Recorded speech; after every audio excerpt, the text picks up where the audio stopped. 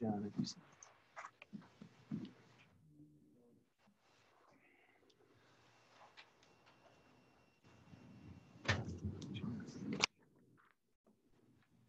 This is on YouTube. All righty. There we go. It's recording. Mm, it is- it's- Live on YouTube. The meeting. In this room. Oh, yeah. Oh, that'll be over. It might be in this room because I think we have power. Okay. Yeah, okay.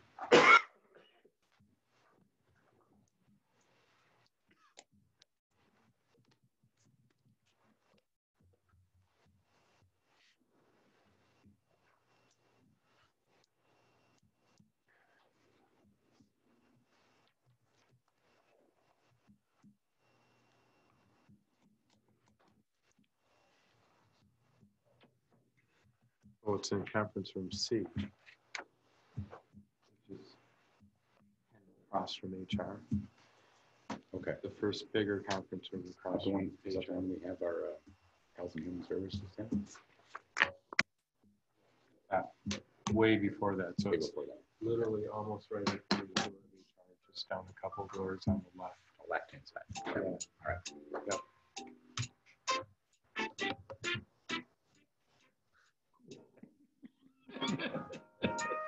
Regina ain't here, she was gonna sing.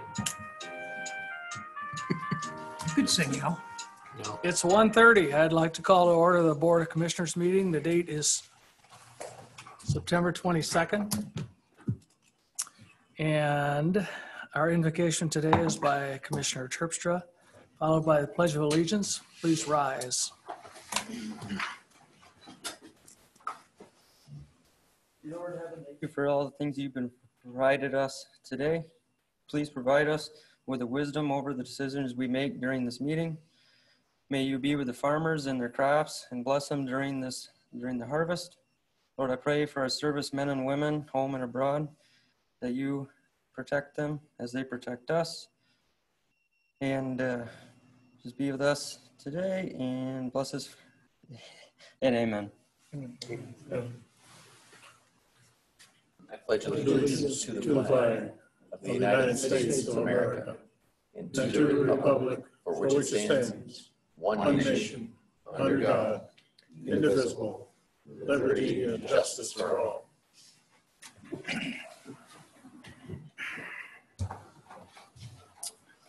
Mr. Roebuck, would you call roll, please?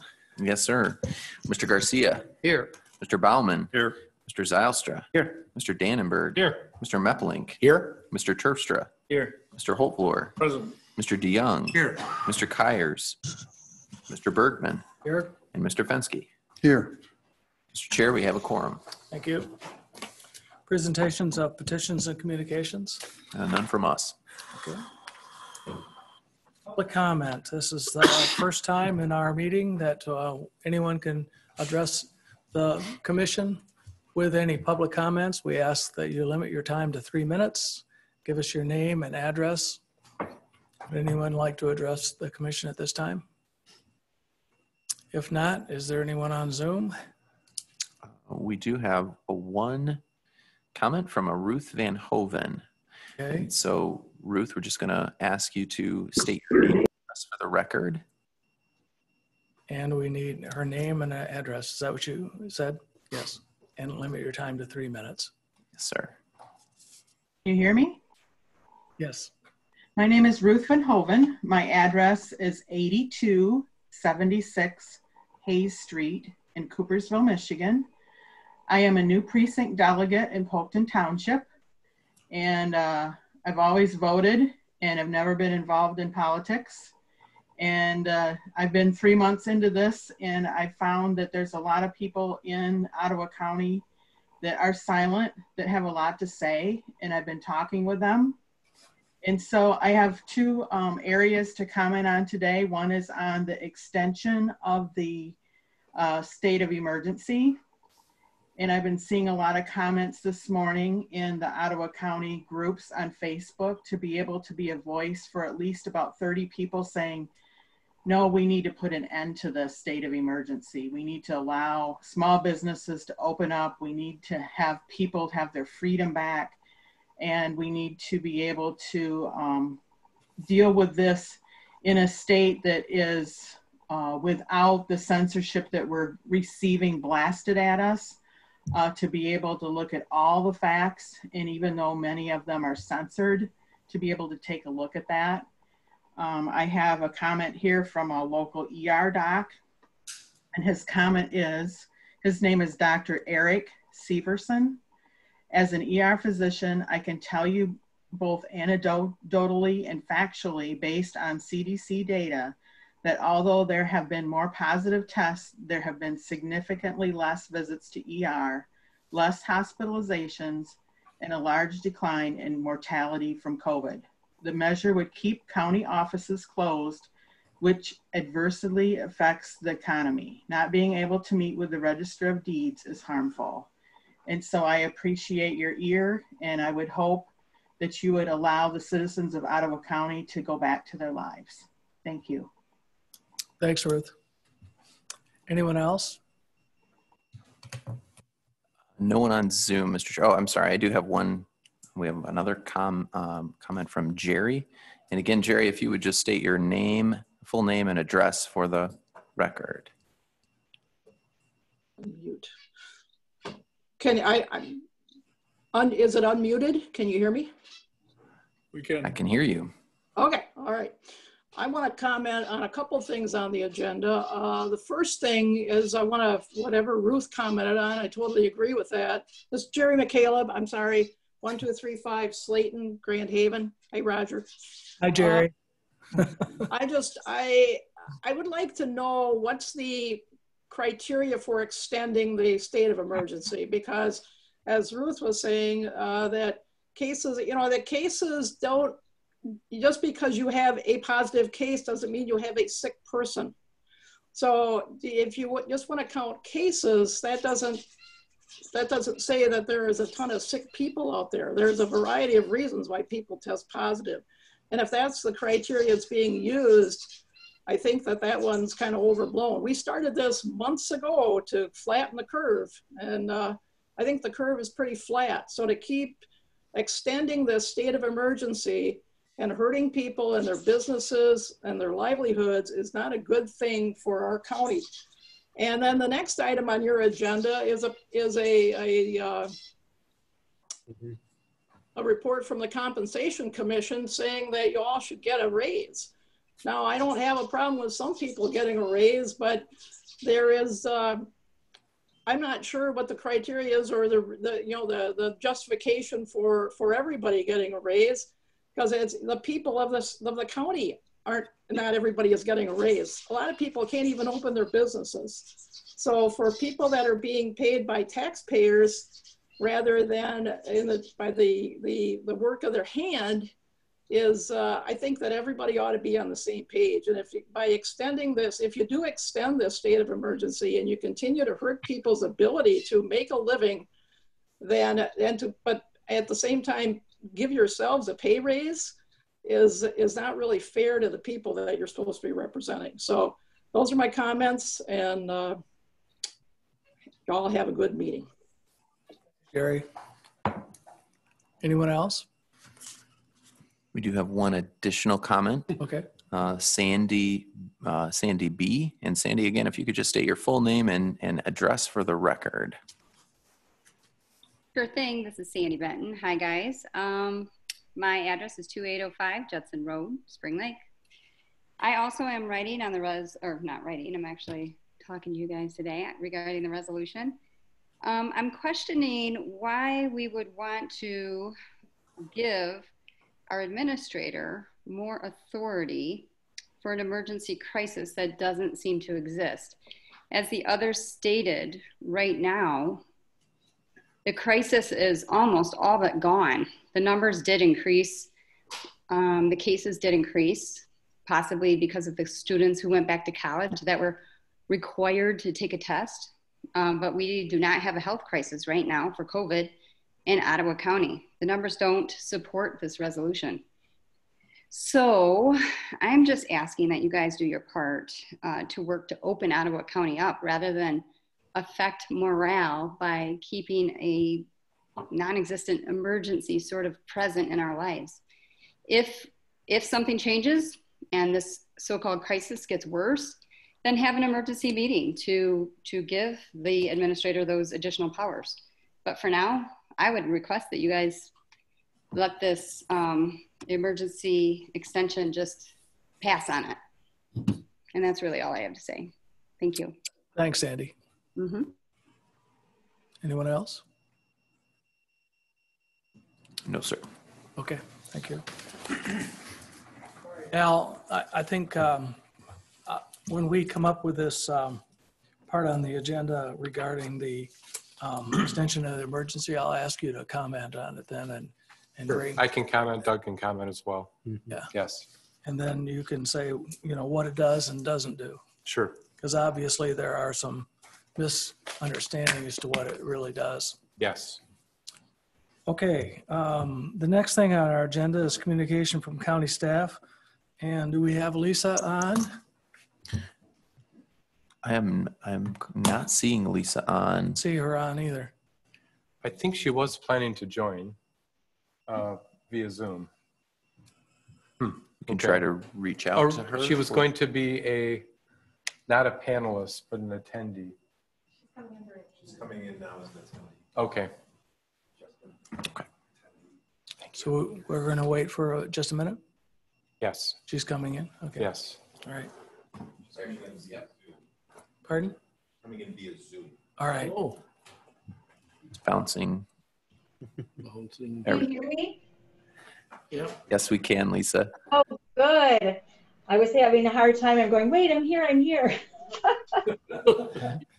Sorry about Lisa. that. Thank you for being patient and inviting me to meeting today.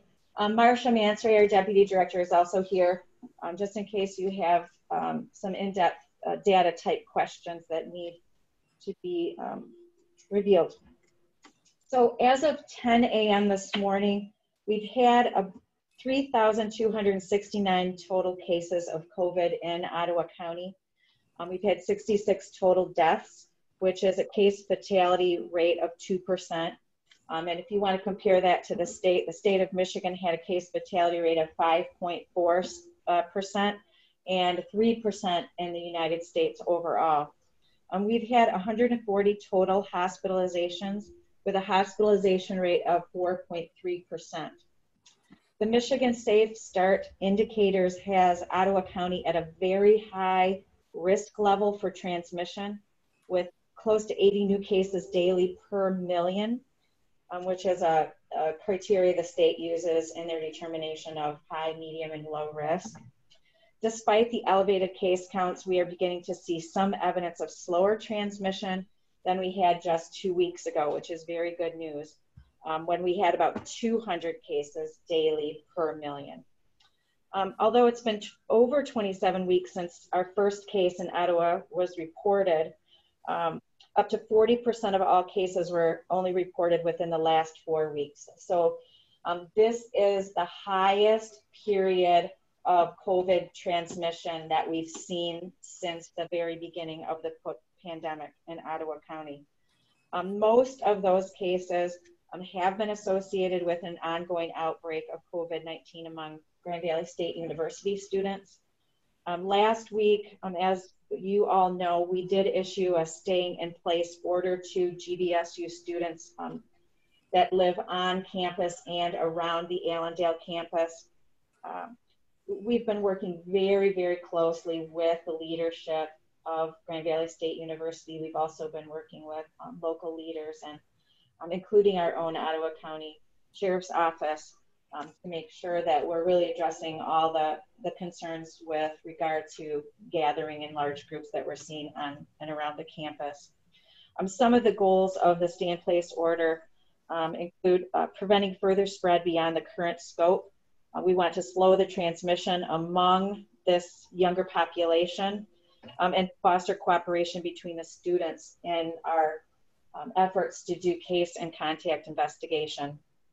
Um, moving forward, we are having daily briefings between um, our department and GVSU leadership um, and working closely to monitor the situation in hopes that just taking this two week period, we call it an incubation period, um, to try to slow down the spread on campus in hopes that it doesn't spread off campus to a more vulnerable or more um, high risk population.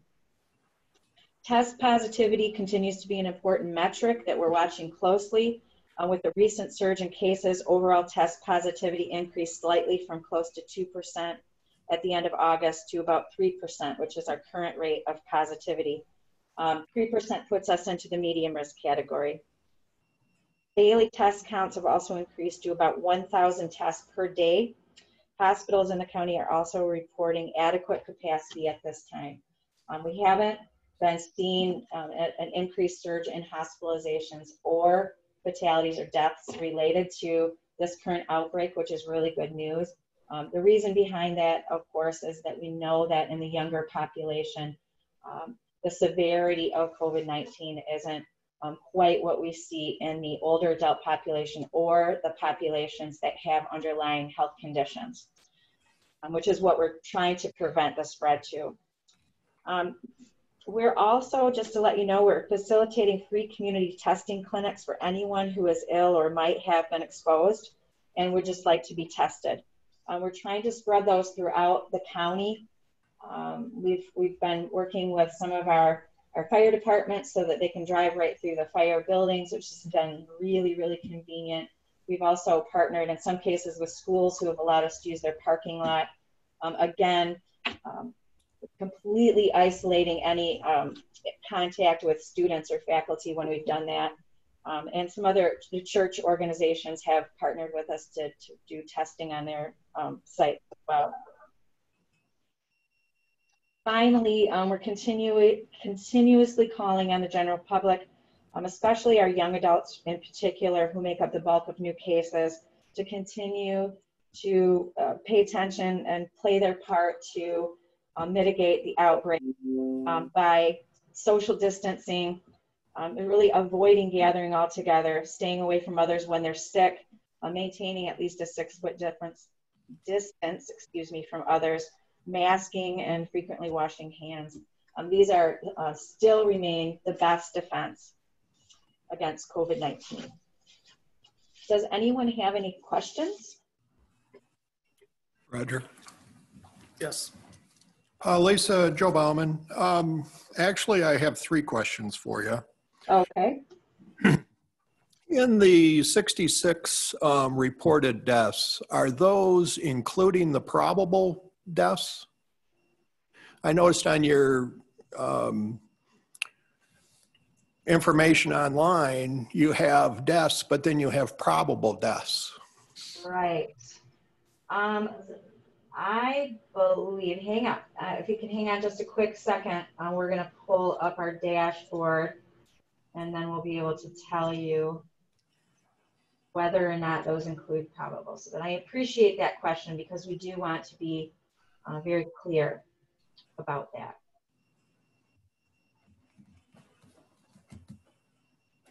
So what have you got, Marcia? Yeah, neither. I know that we did have somebody early. Uh-huh. Um, when we weren't able to get. I I apologize. I can't answer that question for you right now. Um, it's not showing up on my dashboard and I'm not sure why, but I will get you that information um, immediately upon um, getting off the, the call. The other questions I have, if we take the outbreak uh, at GVSU out of the numbers, Mhm. are we declining our numbers in the rest of the county? Are we, you know, is the rest of the county increasing as well? Um, and then the other question regarding GVSU was how are you enforcing the stay at place?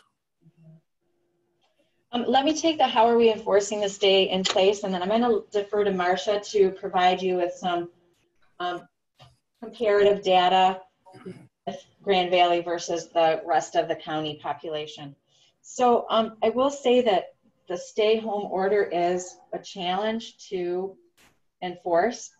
Um, but in working closely with Grand Valley and our, our uh, uh, Ottawa County Sheriff's Office, as well as the public safety um, on campus, I think we're doing a really good job of taking a reasonable approach to enforcement.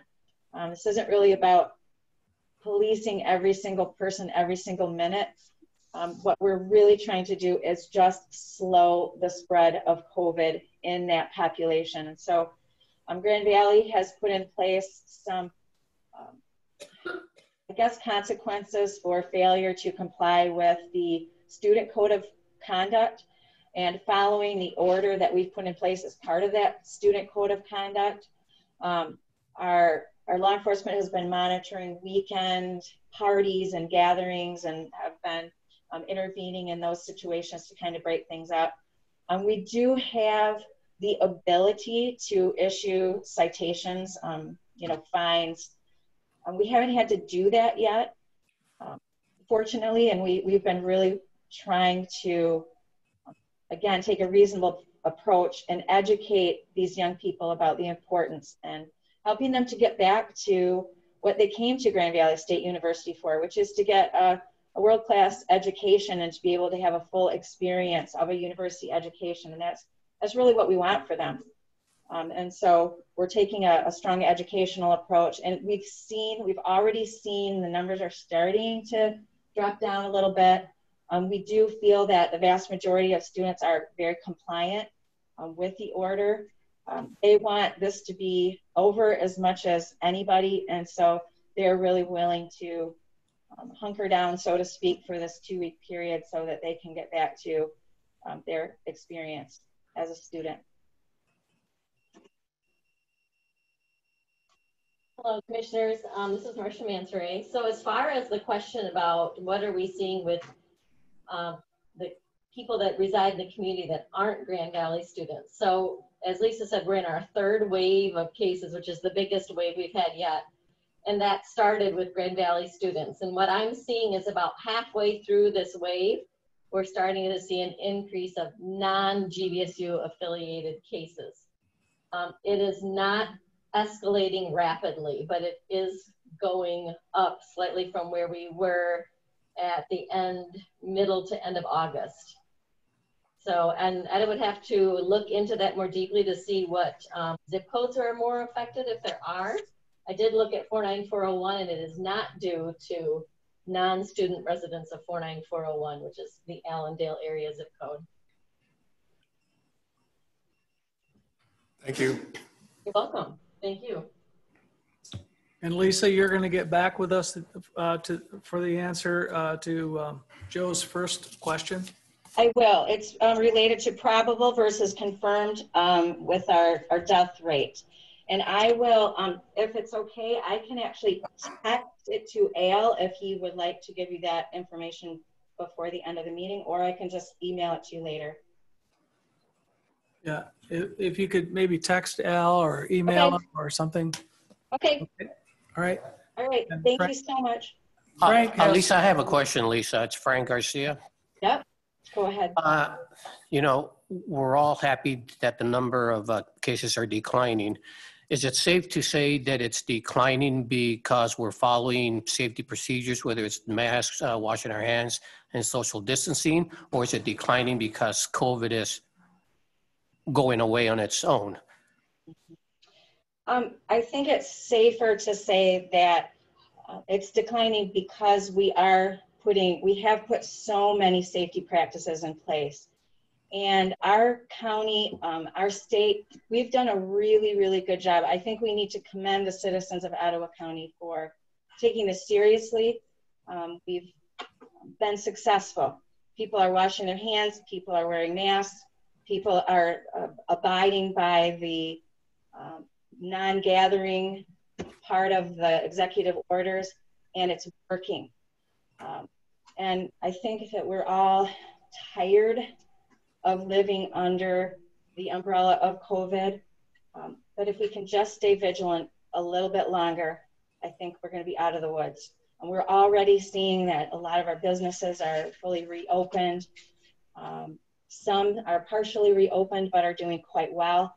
We do stay in contact, especially with the businesses that we have regulatory authority over and uh, particular food establishments, and they're they're growing. So that's good news.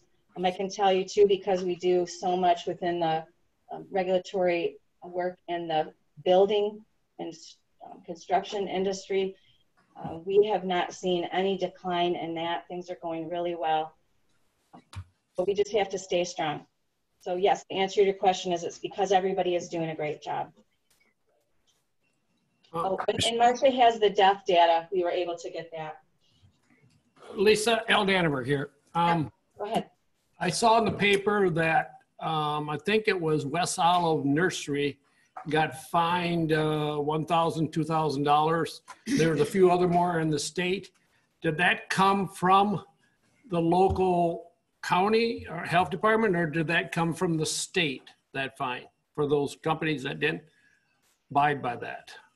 Um, that fine did, was not issued by our department.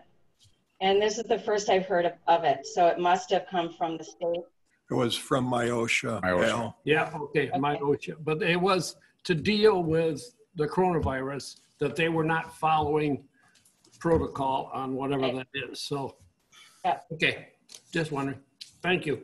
Lisa, we have one more question. Lisa Okay. Randy Meppelink. Um, I, my question is, and this comes from this, um, from parents at the schools and, um, my question is when a, st- if a student and, and currently a student being sent home by the school uh, for a cough or a suspected sickness, even with a negative or you know with a uh, they do a temperature and they're um, and they're fine on the temperature, they're sent home from school. They have to be home for 24 hours, and then they have to also have a negative COVID test to come back to school. My concern is that if this is going to cause a hardship to a parent, because now if it's a elementary student and the parent has to stay home uh, or find uh, care uh, things, and this could also bleed into the employment side of that, where now the employer hears that the parent has to stay home because a child was sent home via a school teacher sent home and they're waiting a negative COVID test result, then does that worker have to stay? I mean, where does it, where do we, where does it stop? But my challenge, I guess, is, is there a way that we can help the schools and get test results faster?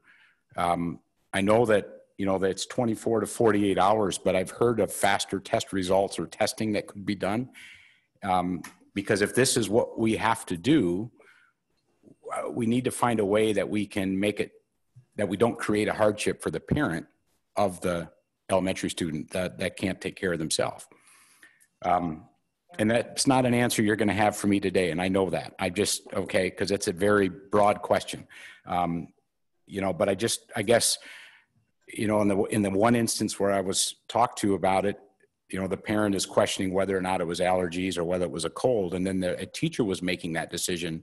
Uh, and do we, and they don't want that responsibility in as much as we wouldn't want that responsibility because we would as the parent would want to be the responsible person to make that decision. So there's m- multiple multiple things that are going on here. I just i just want to be sure that and i know you are but i want to be sure the department is looking at the broader question as to the effects downstream. You know you have to think of if you throw a stone in a in a in a, the lake there's a ripple. The stone disappears right away but the ripples continue on. And what those ripples do cause are cause and effect to many other things. And uh, um, so it was more a comment i guess than a question. It really just not a question lisa for you other than that we need to be concerned about this with the schools i think. And i know you are but if there's a way that we can find a better solution than what's happening right now that's what i guess is what i, I wanted to talk about so thank you Yes, and, and I just want to say thank you for bringing that up to us. Um, this is an issue that we are very, very sensitive to. Um, we really see um, the impact of children not being in school. We believe that the best place for children is in school um, if they are, you know, kept safe. and we believe they are. Um, we've got a lot of fantastic school personnel um, from the leadership throughout all of the organizations um, who are working really hard to take care of our kids. Um, this is a, the, the, issues that you raise are consistent across the nation. Um, we have been taking these up to our uh, state leadership and communicating with them and trying to identify uh, better ways to do testing, to do faster testing, to uh, be consistent in how we're uh, mitigating uh, the spread of disease, um, especially in our K-12 um, population.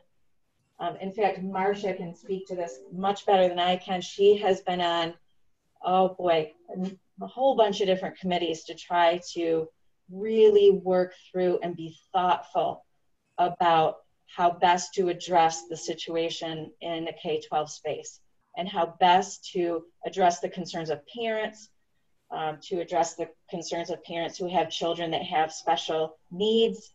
Um, there is multi nuanced, um, but we are working really hard. And, um, and, I, and I believe we have a great partnership with our districts. So, Marcia, do you want to add anything to that? I think Lisa covered it very well. We're also looking at um, not putting an additional burden on our healthcare providers with um, parents needing to go to their doctor to get some kind of letter to bring back for, for every school kid. So we have talked to schools about not making that a requirement um, and taking a parent's word for it if they called their doctor or saw their doctor and their doctor has an alternative diagnosis and says, I think this is allergies, or I think this is the whatever X chronic condition your child has, um, so that we don't overburden the healthcare system as well. So there's a, like Lisa said, a lot of nuances with this. Anyone else? If not, Lisa, I just want to ask, um, how important is it um, for your department that um, we continue the emergency um, declaration in the county? Well, um, I feel it's very important. Um, and I feel that, um, unfortunately, um, there's some misunderstanding about the emergency order, and Al can probably do a much better job of giving the review of what it means than I. But I can tell you on a very practical level, um, it is uh, has allowed our department to to the needs of the health needs and the health concerns of our community. Um, examples include um, when we had surges in cases, we received some, um, some funds from the state that allowed us to increase the level of staff that we have to do case and contact investigation. And um, Al and Marcy, our, our fiscal and human resources, and administrative staff along with public health came together and within a day we were able to figure out a really really good and quick uh, and reasonable and uh, cost effective solution um, and we were able to put it together in a matter of days um, and, and uh, it, it's, it's really important for us to be able to be nimble um, and responsive um, covid i think we all can agree that the situation changes almost by the minute. And therefore, um, what we need in order to respond is flexibility. And that's really for us what the, the executive order allows is for flexibility. And that flexibility is critically important for us to care for our community, uh, which is our main mission, is protecting health. Thank you, Lisa. Does anyone else have any other comments or questions? If not, thank you, Lisa. Commissioner and, um, we do have, um, Marcia's going to explain the deaths. We did get that information. If we could just take one more minute. Yes. Okay. So of the 66 deaths, 7% of them were probable deaths, which equals five. And they all occurred in April and May. Um, and was that was likely limited testing. So they were probably probable cases that were not able to get a test and died. So that would mean that they were a close contact, likely to someone in their household who was a positive. So um, it's not we're not able to do post mortems on them at this point, but we haven't had any since May. Thank you. I think that's was answers the question, right, Joe? Yep. All right. Thank you, ladies. Thank you so much. All right. Uh, next thing is approval of agenda. Can I get a motion, please? So move. Or Mr. Chair, Yes. um, I'm going to ask that uh, action item number seven be deleted from approval of the agenda, please. All right. Anybody have any concerns about that? Joe, I think you and your finance committee had talked about that previously Right, as yeah, well. we had, had voted on it, but we, um, John had said that it was under the threshold, so we really don't have to, um, take action on it. All right. So just, um, just so you know, we're we're removing item seven under um, B, action items. Okay, is there, there's been a move, moved, moved and approved um, and seconded. Comments or questions? Justin, would you call the roll, please? Yes, sir. Mr. Garcia, Yes. Mr. Fenske, Yes. Mr. Zylstra, Yes. Mr. Dannenberg, Yes. Mr. Terpstra, Yes.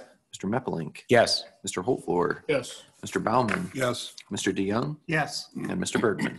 Yes. Motion passes. Next thing is consent, consent resolutions, Mr. Fenske. Thank you, Mr. Chair. I would like to make a motion to approve consent resolutions one through three. Mr. Chair, can we remove number three, uh, budget adjustments, please? Um, Do we have a?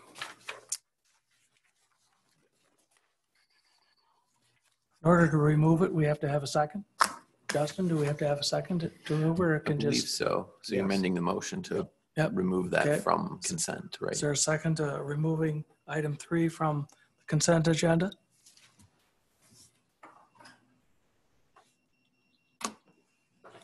If not, it stays. Okay. Comments or questions on the resolution, co- consent resolutions? That, Justin, would you call the roll, please? Mr. Holtvluwer, Yes. Mr. Garcia, Yes. Mr. Dannenberg, Yes. Mr. DeJong, yes, Mr. Zylstra. No. Mr. Terpstra, Yes. Mr. Meppelink, Yes. Mr. Baumann, yes, Mr. Fenske, Yes. and Mr. Bergman. Yes. Motion passes. Next thing is from administration, Mr. Holtvluwer. Thank you, Mr. Chairman. Item number one, declaration of local state and emergency resolution.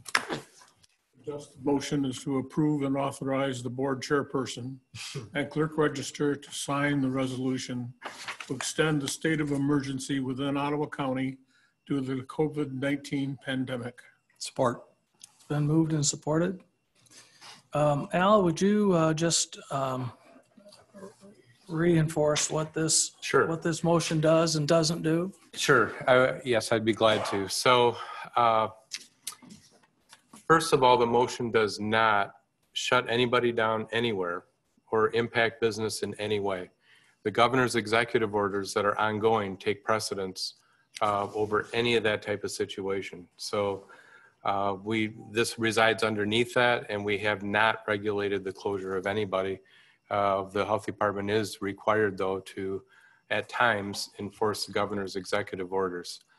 Uh, Really, the reason we do it is just administrative flexibility, and you can see that from the administrative rules that have been done. Uh, There are times, you know, even though it looks great to the outside world, the COVID numbers are stable and in some cases decreasing. But the, the pressure on our health staff is immense because they still have to do all the contact tracing for all those cases that come up at Grand Valley. And so for me to add the staff that we added, 100% paid for with CARES dollars, temporary staff paid for with CARES dollars, could take as long as a month if I take it through normal process. The flexibility you've given us allows us to do that in a day. And so it's those types of situations that you've seen come through in the administrative rules that we've done. And again, we're very transparent and accountable. We've sent those on to you uh, all the way through. I haven't had a commissioner yet say, wow, you blew that one, or that wasn't a good idea.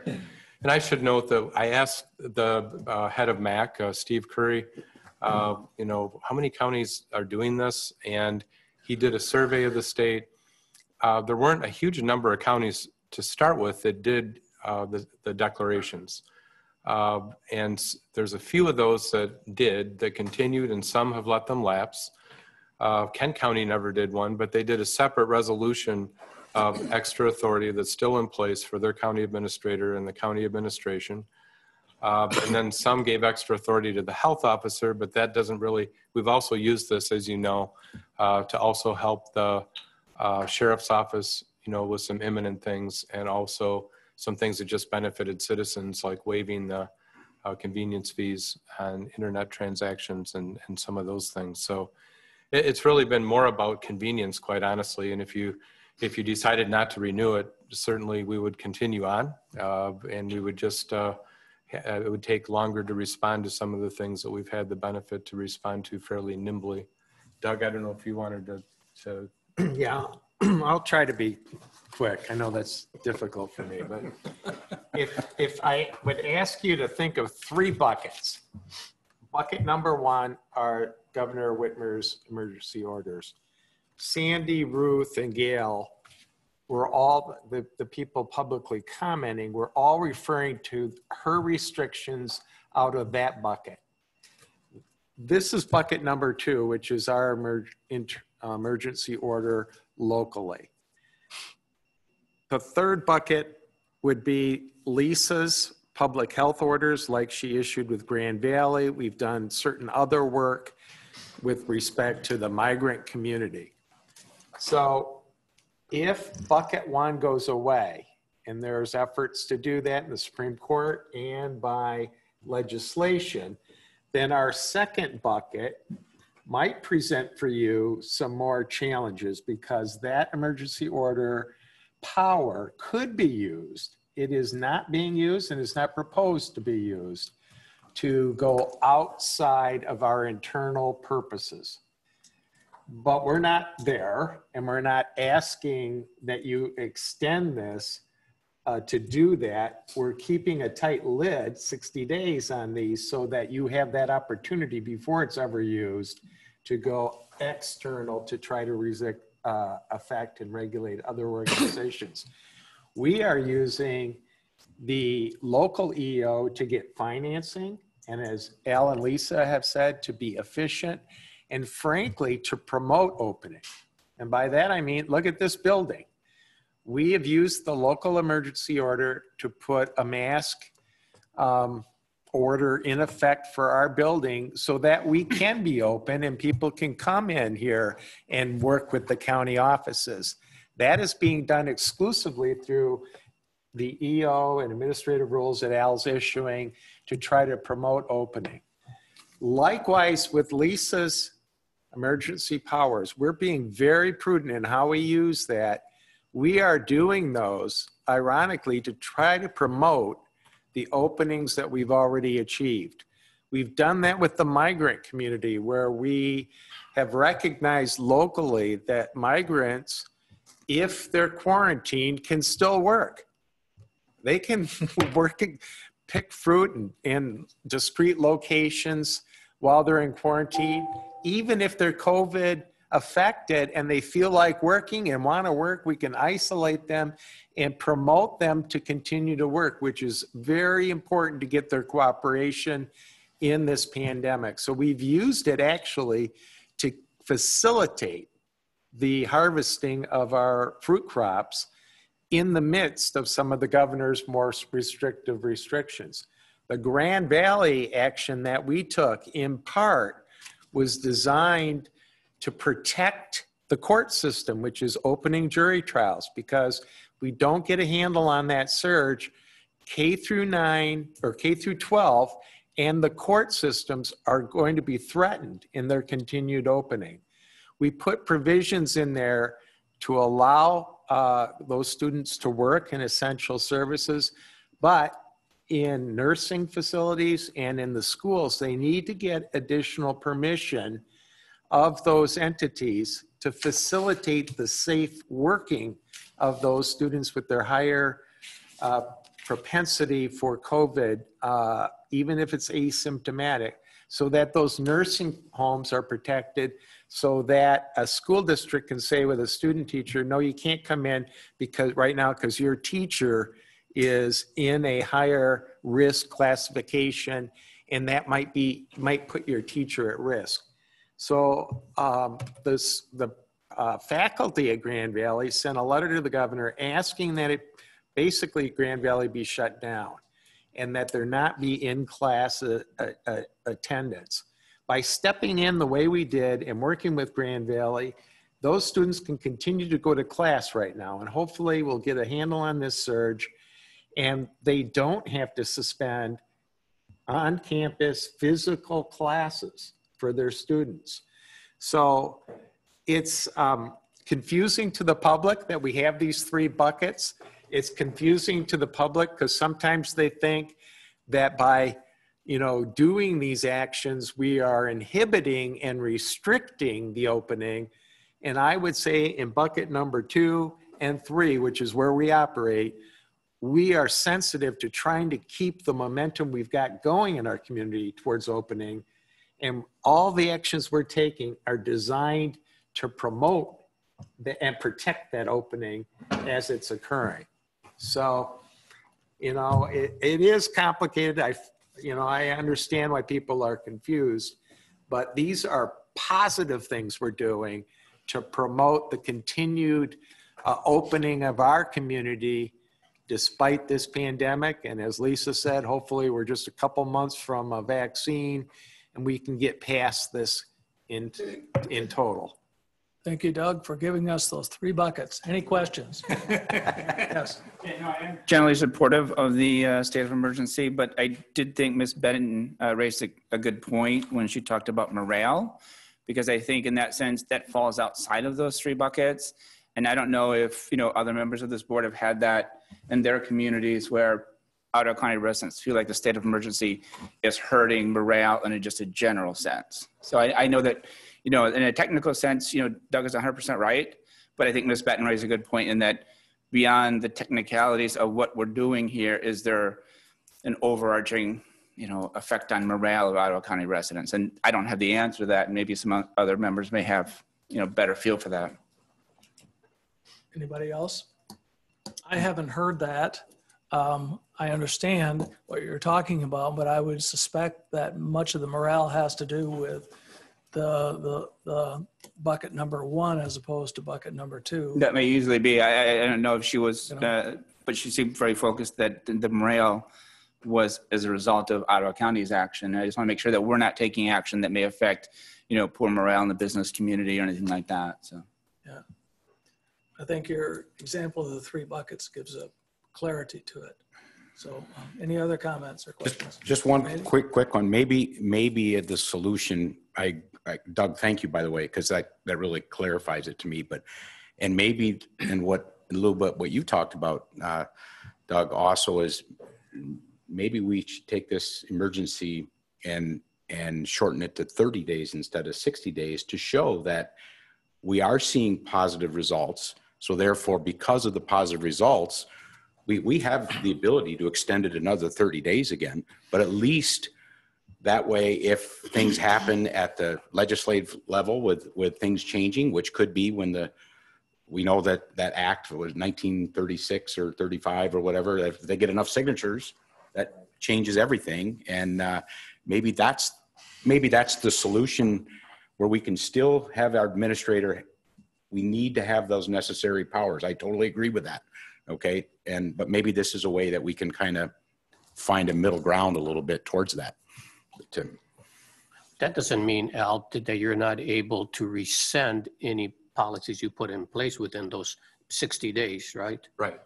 So whether it's 30 or 60 or 120 days, you can always start uh, re- rescinding any of those uh, c- protocols, I would imagine. Is that possible or not? Oh, you mean the ones that have been done? Right, right. Yeah, I mean, uh, obviously, the day it ends, I'll go away. And then, so if, if you voted no on this, then we decide what we need to bring back to you at a board meeting to make permanent during COVID or, or whatever, right?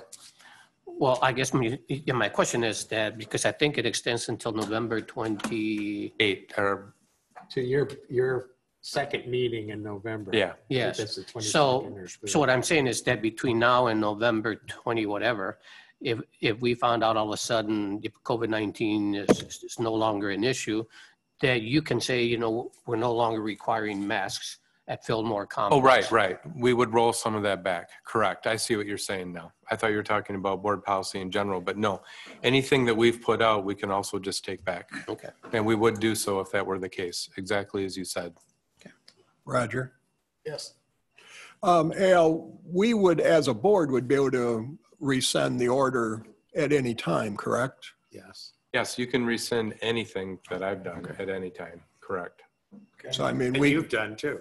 So yeah, you could. we you could can, Rescind it. if At the a month next from meeting. now, we decide that we're done, we can rescind the executive order. Correct. Okay. Mhm. Any other comments, questions? Not? Call the roll, please, Justin. Yes, sir. Mr. Dannenberg, Yes. Mr. Baumann, Yes. Mr. Fenske, Yes. Mr. Meppelink, Yes. Mr. Terpstra, Yes. Mr. Garcia, Yes. Mr. DeJong, Yes. Mr. Holtvluwer, Yes. Mr. Zylstra, Yes. and Mr. Bergman. Yes. Motion passes. Item number two, Ottawa County Officers Compensation Commission Resolution. Suggested motion to approve in whole or in part and authorize the board chairperson and clerk register to sign the resolution regarding the recommendations of the Ottawa County Officers Compensation Commission for 2021 and 2022. Support. It's been moved and supported. Comments or questions? Mr. Chair, I'd like to make a comment if I could, please. Yes. Uh, Last night I sent the board an email. I tried to do this memo, but the formatting was messed up and I was having difficulty with it, so I did put it in the form of a memo. I just wanted to give a little history uh, for a couple of you. This is the first time you've had uh, this come before you for a vote, and it's always good to have a, a refresher, I think. Uh, But the main reason, this board was created in 2005 and it sat for the first time in 2006.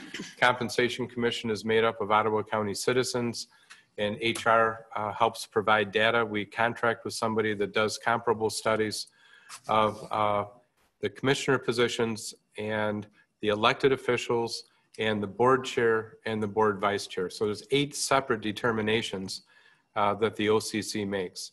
They meet every other year. Uh, On per state law, they meet for three times over a two-month period, which is typically, it doesn't have to be, but it's typically been February and March uh, because the group likes to get its work done and a decision made by the Board of Commissioners before the filing date happens, used to be May, I don't know if it's April now or or when that is, uh, so that anybody who's thinking about running for one of those offices in Ottawa County will have a pretty firm fix on what the wage would be, the salary would be, not benefits, that's not set by this group, just wage. And so, uh, under Michigan law, the OCC makes a determination. Once they've made that, the Board of Commissioners has three separate courses of action that you could take. One is to accept the recommendations as they've been made, or not actually the determination, it's a determination, not a recommendation. The second course of action would be to deny all of them, to turn down that determination. The third possibility is to accept some and not others. So you could say, well, we're going to accept the determination made for the sheriff, but we're not going to accept the determination made for another position. But what you can't do is alter those. So you, if one position was going to get a 2% increase, you couldn't say, well, we think that position deserves 1% or 3%. You either turn down what they gave you, accept what they gave you, or accept some of the offices that they did and not others of what they did. And so this is a rare year because I don't remember the last time it was aligned where we had negotiations with all seven unions. Uh, we have the OCC, uh, and we have the uh, the wage and classification study, which we do every five years. So literally, this will be a year when every single employee and officer under the Ottawa County umbrella uh, has their wages analyzed in, comp- in comparable to comps, uh, and so that we make sure we're paying everybody as equi- equitably as we can while maintaining internal equity for the non-elected positions in the organization. So obviously, I'm giving you the administrative pitch for why you should approve it. I mean, and I understand that you have political considerations. We heard some of those during public comment this morning. Obviously, I think they were referring to bucket one because you are not shutting any businesses down. So it isn't quite like you're shutting businesses down and then voting yourselves a pay raise. But if we're committed to make, making sure that all employees and officials in Ottawa County are paid equitably according to the comps, then if you don't accept it, we'll just have to do a bigger amount in four years just to keep up with your peers in comparable counties. And to me, that's not a good business solution, but it may be the best political solution. I mean, I can't answer that part of it because that's not what I do here. Uh, but I just wanted you and people out who are listening to the meeting and people who will view it later to know that there is a at least a solid administrative logic for why you would approve these. That's it. Comments or questions? Uh, Justin, would you call the roll, please? Yes, sir. Mr. Holtvluwer, Yes. Mr. Meppelink, Yes. Mr. Terpstra, Yes. Mr. Garcia, Yes. Mr. Zylstra, Yes. Mr. Fenske, Yes. Mr. Dannenberg, Yes. Mr. DeJong, Yes. Mr. Baumann, Yes. and Mr. Bergman. Yes. Motion passes. From Finance and Administration, Mr. Baumann. Thank you, Mr. Chairman. In regards to the agreement for property assessment administration services with Blendon Township, I make a motion to approve the agreement for property assessment administration services between Ottawa County and Blendon Township. Support. And moved and supported. Comments or questions? So Michael, this is um, the third, third or fourth one that we're doing? This is our fourth unit. Uh, We start with a two-year contract, um, just to see that we have the prices right and it, it's co- balanced with the cost. This is our first three-year contract with Blendon Township. There was a a slight increase that was needed, and when the board passed us, they were very complimentary of the department's local assessing division and how well they did, so. And would you um, agree that most of the uh, units that, that use the, uh, the county for their assessment, that it saves them um, a number of dollars? It saves them some money, yes. It's also uh, professionally done and uh, not, we have good assessors here. Yes. But when Blendon was looking for an assessor, uh, they wanted part-time first. They couldn't find one. They went up to 70-some thousand, still couldn't find one. And they came to us. So we weren't their first choice. They wanted their own assessor, but they couldn't find one. Now that they've had us for two years, they say it's a, it's a good thing. Yeah. We're not in the business of looking for units. If they have an assessor, keep it, you're doing fine. We're just an option that's available Right. if it comes to that. Right, good, good. Any questions for Michael? If Not? Just one small comment, if I could. Okay, Before sure. coming to your board next time, will be a designated assessor contract. By the new assessment reform, we have to have a default designated assessor. If they fail their, uh, their state review twice, then it goes to designated assessor. Here in Ottawa County, we have great assessors. Even if one of them didn't happen to, uh, uh, got, didn't make it, they'd hire somebody else and it'd be fine, but we still have it in place. I've sent it out to all the local units. I've got, Jamestown's already approved it. Four more have told me it's coming to October. Uh, well, we need to have you as a board approve it and uh, a majority of the local units. And to come up with that, I took the, uh, the contract that we usually have, blended it with this long list the state says you have to have in it and put that together. So that'll be coming next time is all. Okay, good. Thank you. Justin, would you call the roll, please? Yes, sir. Mr. Fenske, Yes. Mr. Zylstra, Yes. Mr. Garcia, Yes. Mr. Holtvluwer, Yes. Mr. Baumann, Yes. Mr. DeJong, Yes. Mr. Meppelink, Yes. Mr. Dannenberg, Yes. Mr. Terpstra, Yes. and Mr. Bergman. Yes. Motion passes. In regards to the 2021 budget resolution, I make a motion to approve and authorize the board chairperson and clerk register to sign the fiscal year 2021 General Appropriations Act. Support. Been moved and supported. Comments or questions? Justin, would you call the roll, please? Mr. Zylstra, Uh, yes. Mr. Fenske, Yes. Mr. Baumann, Yes. Mr. Garcia, Yes. Mr. Meppelink, Yes. Mr. Dannenberg, Yes. Mr. DeJong, Yes. Mr. Holtvluwer, Yes. Mr. Terpstra, Yes. and Mr. Bergman. Yes. Motion passes. Regarding the resolution uh, for the distribution of convention facility tax revenues to counties, I make a motion to approve and authorize the board chairperson and clerk register to sign the resolution regarding the distribution of convention facility tax revenues to counties under Public Acts 106, 107 of 1985. Support.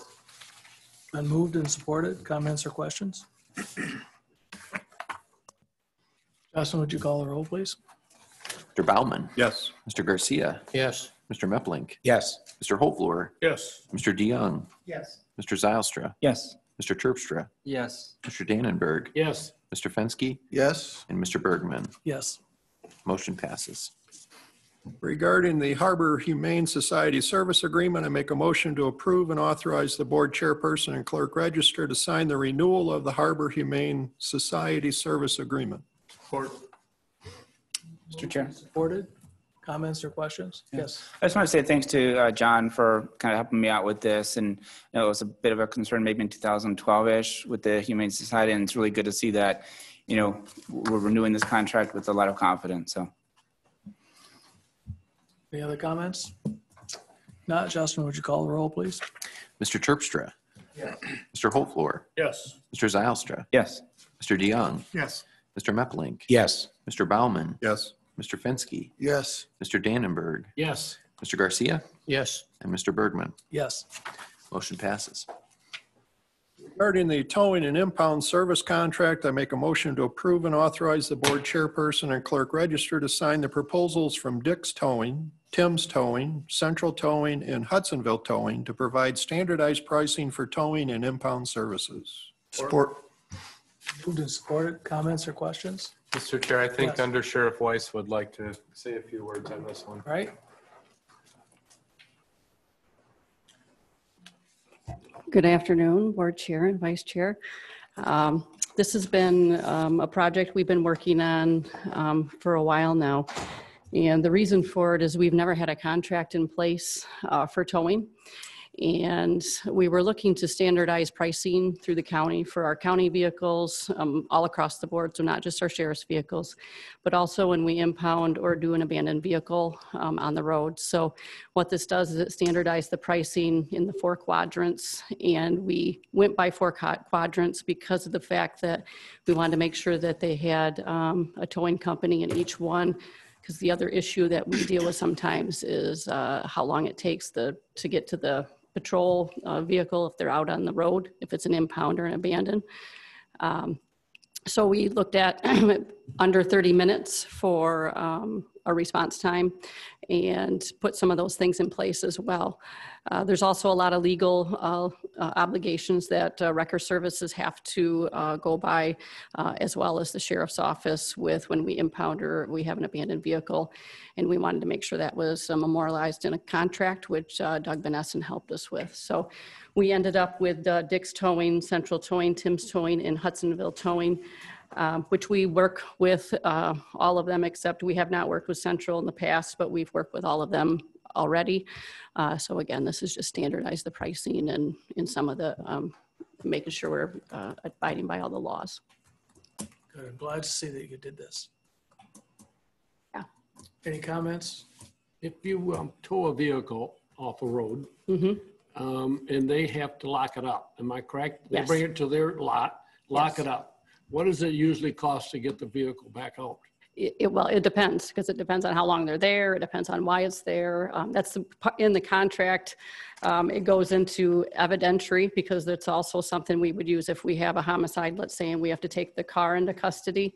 We have to make sure it's a locked facility, so in the contract, we want a locked facility, what that looks like, if we can gain entry, when they can let people come to access, if we impound it. Um, They may need to get some personal effects if we have a fatal crash. So there's a lot of things that are incorporated in this, and some of it has to do with the, uh, pay, the, how much you pay for storage, but it just depends, depends on how long it's there. Okay, okay, thank you. Yeah, Val, real quick. Um, if folks have an abandoned vehicle and they come and their vehicle's no longer there, where do they usually call? Do they usually call you or they call, you know? Usually they'll call dispatch. Yeah, Okay. so then dispatch will Dispatch has call us. all that information. Yes, and then they give us their name and their uh, registration plate, and we're able to, pi- we can pull that up in our lien Okay. uh, access, and we. s- So they're we- not we'll- chasing after their car? No, Okay. we'll, we'll see where it went, and then we let them know. Okay, great, thank you. So We really looked at too is um, making sure that the public has a place available for them to go to get their car, which is important too. And after hours, act- you know, there's a lot of things that went into this uh, project, but we're glad that we Are there- finally have something in place. Are those 24-hour lots or not necessarily? No, no, but there's certain times when we need to access, um, and the people have an access point of, of somewhere to call to find out how to get their car. So Val, if I have an accident and I end up in the hospital and, and my car gets towed, it gets towed by one of these companies, correct? Yeah, Unless- well, it, it depends because we have a towing Call contract. Somebody and like So I, that's a little bit different. So what happens is, is uh, the Ottawa County Dispatch has a, also is working on a contract that Doug's working on. And that would be something where it would be towed and we have a no preference list and that's dispatch. We don't oversee that. So our guys will call and say, I need a no preference uh, wrecker. And then that wrecker comes and it's taken to a tow yard. okay, And that could be any tow yard. okay, all right. Okay, any other comments? Thanks, Val. You're welcome. Thank you. Justin, would you call the roll, please? Yes, sir. Kuyers. He's not here. Uh, absentee ballot, okay. Mr. Holtvluwer, Yes. Mr. Garcia, Yes. Mr. Dannenberg, Yes. Mr. DeJong, Yes. Mr. Zylstra, Yes. Mr. Terp, Terpstra, Yes. Mr. Meppelink, Yes. Mr. Baumann, Yes. Mr. Fenske, Yes. and Mr. Bergman. Yes. Motion passes.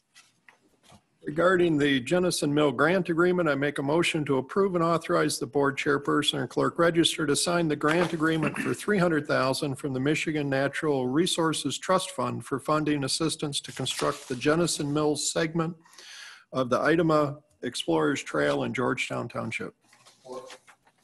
Moved and seconded. Comments or questions? Justin, would you call the roll, please?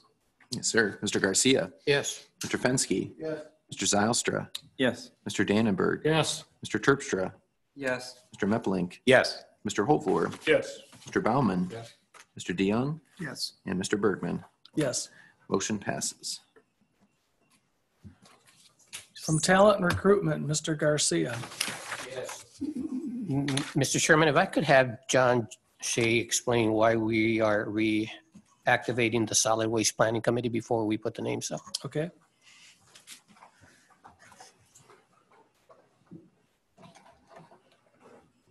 A couple months ago, Consumers Energy contacted the county uh, and they're looking to uh, expand their uh, dry ash landfill at their J.H. Campbell plant in Port Sheldon. And in order to do that, they need to apply for a permit with EGLE. And in order, as part of that permit application, they need a letter of consistency from the county solid waste planning committee. Uh, The committee, I believe, last met in 2014, 2015. Uh, So we really had to repopulate the committee at this point. It's a 14-member uh, committee, and it's composed with two-year terms, and it's composed of, of those 14, four members represent the solid waste management industry, two members represent the environmental interest groups, one member represents county government, one represents city government, one represents township government, uh, One represents the Regional Solid Waste Planning Agency, one represents the industrial waste generators, and three represent the general public. Uh, So uh, excluding uh, the county uh, commissioner appointment, there are 13 seats. Uh, There are 12 applicants here. Uh, We did have 13 applicants, uh, but one had to withdraw. So there are 12 12 vying for 13 seats, uh, plus there needs to be an appointment among one of the county commissioners to this planning committee as well. Okay. Thank you, John. So since there are 12 uh, candidates for 13 slots, you know, I'm just going to put the name them all and then we can just do a yay, nay vote. uh, That's possible. So for the uh, general public vacancies, uh, we're nominating William Sahlberg, Ken Freestone, Becky Hutninga. Uh, For the government vacancy, we have Thomas Unk. For the Environmental Interest Group, we have Kelly Goward. Coward, Yep, Coward, uh, and Benjamin Jordan. For the Regional and County Solid Waste Planning, uh, Planning Agency, we have Stuart Whitney. For the city government, uh, the vacancy, we have Aaron Thilenwood. And for the uh, solid waste industry, we have Carrie Bliss, Russ Borsma, Justin Opermeyer, and Matt Rosser. Support. It's been moved and supported. Comments or questions? Justin, would you call the roll, please? Yes, sir. Mr. Dannenberg. Yes. Mr. Baumann. Yes. Mr. Fenske. Yes. Mr. Meppelink. Yes. Mr. Terpstra. Yes. Mr. Garcia. Yes. Mr. DeJong. Yes. Mr. Holtvluwer. Yes. Mr. Zylstra. Yes. And Mr. Bergman. Yes. Motion passes. And we have one more uh, vacancy, Mr. Chairman, that, that the board needs to nominate a current board member to sit on that. Yes. I'd like to nominate Frank Garcia for that position. Support. You sure no one else wants that?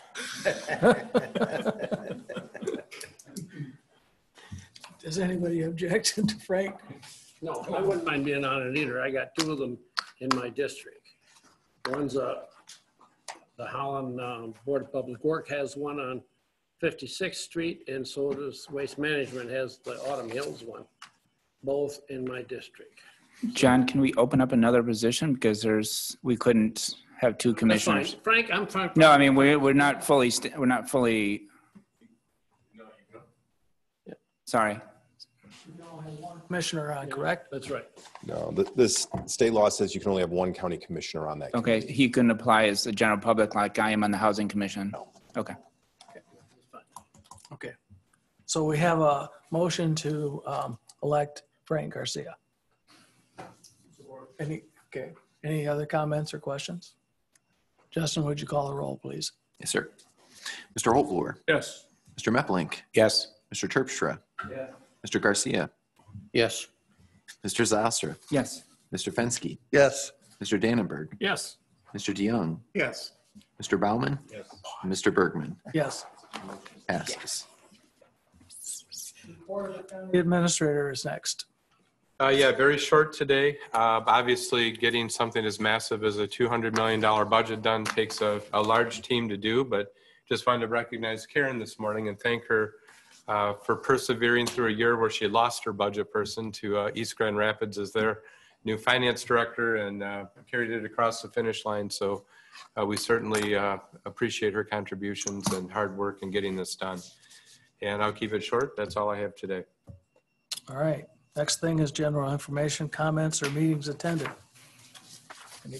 Yes. Um, Farms Are the Tapas is still taking place this Thursday, Terra Square in Hudsonville. The weather is cooperating, starts at 6 PM. And uh, right now we have uh, 40 individuals that have already signed up. It's going to be uh, on high top tables, so um, social distancing and safety is going to be much easier that way, being outdoors. And so uh, please consider attendance. If you can't make it, you can always bid on the. uh, Oh, absolutely. Yep. On items. It's online right now? Yeah, because I think one of the commissioners bid against me on something. Not this time. It was not me yet this time. Yeah, is the word. You probably want the, the, the boat trip, right? No, With, uh, the Cliff? The grilling. Ah. Anyone else? Roger? Yes. Uh, Regarding the, the pharma, uh, or the tapas, um, Stephanie has an extra ticket. I had bought a ticket and I'm not going to be able to attend. So if anyone likes, would like to go, there's a free ticket on Stephanie's desk. So. Mr. Chair? Yes. Yeah, I also like to thank Karen for all her help uh, answering my questions. I know that you're short-staffed, um, but I I really appreciate that as well. And I just want to comment um, on all the uh, staff that are here today and appreciate the fact that you show interest in, in uh, what this commission is doing and, and uh, appreciate the work that you guys are all doing for the benefit of the citizens of Ottawa County. Thank you for being here. And uh, with that, um, we'll take public comment. Does anyone want to address council at the commission at this time? After 12 years of being on a city council, I have a hard time remembering that this isn't a council, this is a commission. So is there anybody on Zoom that wants to address this commission? We do not have anyone on Zoom, Mr. Chair. All right. Oh, we do have one comment. I'm sorry, we have one Okay. individual, and this is Ruth Van Hoven. And again, Ruth, sorry for the repetition, but your uh, name and address for the record.